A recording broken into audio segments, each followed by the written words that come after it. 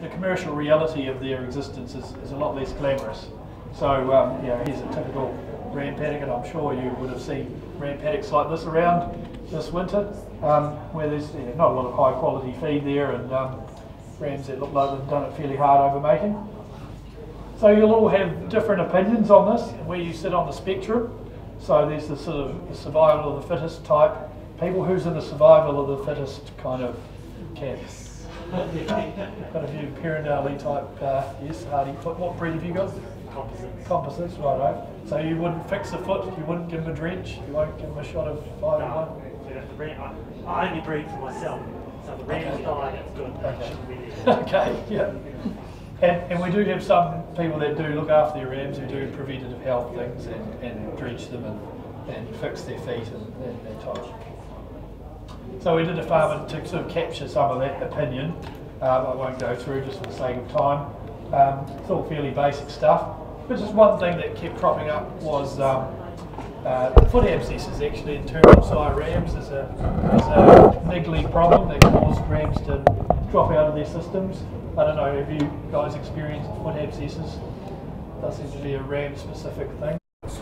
Um, well, ewes can get it, but rams um, more presented in that. So we did a study. We really wanted to look at how much weight do rams lose over a mating period, how fast do they recover that weight, and um, what sort of things impact um, whether, they, whether they drop out of the system or not. So we um, had uh, nine farms around the Otago and Southern region. There's about 500 rams in the study, and we visited them three times before mating, just after, and, um, and then in December.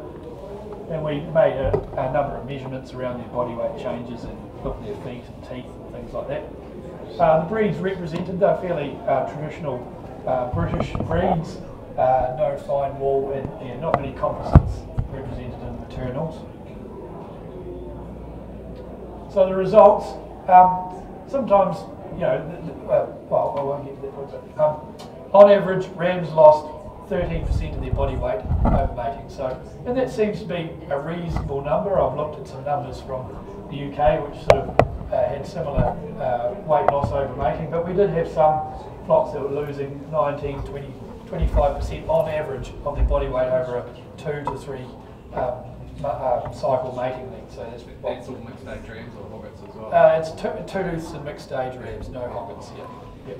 So this is just sort of overall. On an individual basis, there are rams losing, you know, uh, 20 to 30, even up to 46% of their body weight over mating. If they had real extreme numbers, we drop them out of the out of the data set. So that, that's what they're doing. So they're losing weight.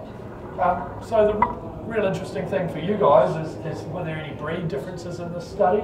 Um, and, and by and large, there wasn't. Uh, when, when we looked at just dividing it by maternal and terminal sires, so fairly rough division, there, there wasn't a lot of differences within the farms. Uh, there was one anomaly where he put his terminals back out with the, um, the hoggets for another two cycles. So obviously the time that the rams are out will determine how much weight they lose. Um, and you might have clients that have rams that stay up till the end of June and, and they come in looking terrible, don't they? Because they've been out with those ewes for, for um, you know, four or five cycles when they don't need to be. But, um, so that's that point. But I just highlighted these last three farms because they really show that it's the on-farm factors that are determining how much weight rams lose, not the genetics in this, in this example. If we did the study over a, a whole um, population in New Zealand over a number of years, perhaps we'll be able to tease out some genetic differences in, in, in weight change. But um, in this little study, it seems yeah, uh, on farm is the main So, did they put that weight back on? Was there a reasonable amount of weight to lose? And by and large, they did rebound the weight because the pointer's not working. So I'll just point. But uh, you can see here, this is the weight they put back on. This is the weight they lost over mating, and this is the weight they put back on until December. So you can see most of the rams are gaining more weight than what they started with. We just had um, a couple, couple of farms where, where his rams were still quite light compared to their pre-mating weight, and this farm here was the other high weight loss one. But he, you can see here the number of rams left after um, before December was culled, culled a third of them on condition, so he killed them all for the dogs. Um, and this is just the dropout rate over mating, so 7% dropout over mating and 23% overall. Um, we divided it maternal and terminal, but there weren't statistical differences there. Uh, again, it may be different if we had a much bigger data set. But just the, what are the causes of ram loss? And, and you know, the answers to these things are often lie in the mundane and the, the obvious, but that's um, sometimes why we do these preliminary studies. I just want to look at this weight change thing over mating. Did that impact how many rams survive mating? It seems intuitive that you know, it would have an impact. We've got a slight uh, relationship between the few dots here. We've got these two farms down here that are losing 10% of their rams over mating for whatever reason and losing a lot of weight. So it's part of the story. And obviously, um, the other big thing that you've already talked about, lameness. Uh, there were 42 rams recorded as lame when they went out for various forms of lameness. Uh, they, they probably didn't get any intervention, and by December, um, just under half of those rams had dropped out. So, uh, as compared to 21% of non-lame rams. So. Uh, just looking at by breed, um, the terminal sires, there's not enough numbers to really, it's just anecdotal stuff again. But teeth, obviously teeth are a big factor in, in, in when we choose to colour ram or when a ram chooses to fade away. So um, we looked at that and if they had any teeth abnormality, that's this group here, 20% of them dropped out over the mating period. Um, they're obviously probably culled on condition rather than teeth versus 7% of um, normal dentition. And then we just look at this relationship between teeth and age, and we can sort of see when they get to about four years, four years of life, um, there's a big drop-off rate in the number of rams and, and, a, and, a, big increase in the number of teeth abnormalities picked up. Um, so uh, this is just looking at how can we determine how much of this weight loss was due to feeding or how much was it due to rams running around doing ram things and mating. And this is the best way we came up with doing that.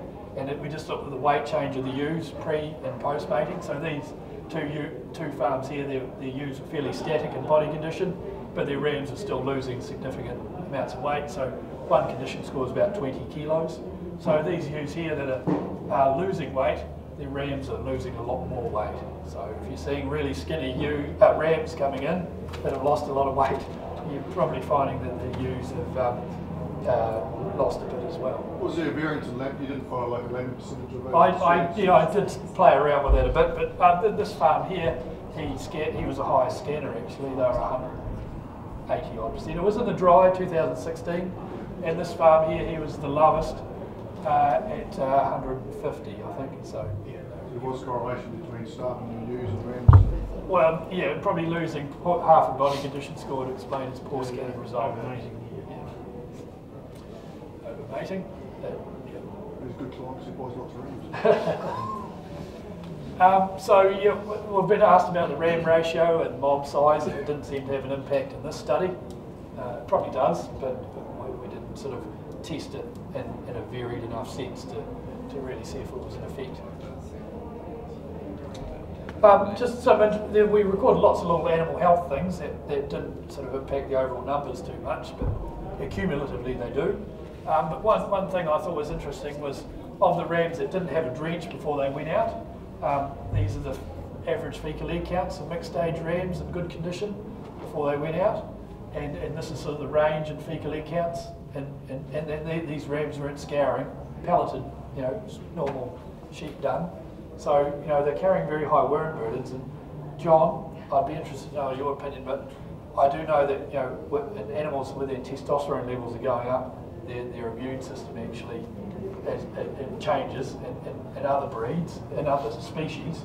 I wonder whether this is partly the fact that the, the testosterone is ramping up, so their suppression of parasitism is relaxed. Well, the reasonably high figures there. I think I think there's a, a lesson to be learned there. I mean, I'd be interested to actually fecally count them every month or something. Do, do, do you have anything on the use? On their fecal egg counts? Oh, this is at the start of this is just rams before mating. Oh, okay. Yeah. So these are good condition. I rams, mean, rams are always more susceptible to, to worms than ewes, apart from like ewing. Right, right. So, it's a so I wonder whether this is similar to something like the periparturient rise in fecal yeah, yeah, uh, yeah. when their testosterone's a, going up. No, no, it doesn't even matter about the testosterone. Just because they're a ram, right. they've got a higher level all year round. all the way through, They're, right? they're all year round, they're like a ewe. They're the weaker sex, just like in humans. So we chuck these out and they lose 15 to 20% of their body weight. You know, what effect is this parasite burden is going to have on the on the ram when they're losing weight? Yeah. Blair, any any uh, do you think it will have an impact? What on some? You're pretty used to those sort of Do, numbers. do, do we have a, a, a ballpark, a ballpark fecal egg count for a normal adult animal? Well, about 500 is considered uh, uh, significant. That's in a lamb, but what about? And a and, unit- and, and I'll use probably 250, I was gonna say fifty to two fifty, Uh, branched, yeah, except what- for the peripartial rise. Yeah. So yeah, if, if it's like they've developed these trigger drenching levels and above, if they're used above 250 x per gram average, then it's justified in drenching. Yeah, that's, that's just Um, so just some other sort of things that were recorded, you know, fighting injuries and abscesses. Um, very few are getting a five and one booster a year. May save lives, 25 cents for, for a thousand dollar ram. It's a fairly small investment. Doesn't take a lot of time. Um, so yeah, the, the summary. So what are we going to do with this? Do, do you guys think it's an issue? Um, is it something that we need to get clarity around a message for our commercial clients and, and, and farmers? Um, like when I was in England, they, they've developed this little testicle thing here, which is a RAM MOT, real basic message, uh, just around their feet, teeth, testicle tone, and, and basic drenching. So um, yeah, do, do you think like a resource like that for your clients might be useful? no. That you could develop in your own style, man. You see it in bull catalogues all the time. How to look after your young bull. Yep. Like it's, it's still a young ram when the sign is a two. You, you didn't mention it probably because you didn't, um, didn't see it. Um, how many had pneumonia, died of pneumonia? Yeah, well, yeah, we were just, yeah, no, we didn't. Well, I wanted to do postmortems on as many as I could, but we, we never actually got them presented to us. And that's always been my thing, you know, when a farmer says to me, this ram dropped dead, why? And you never get to do a postmortem.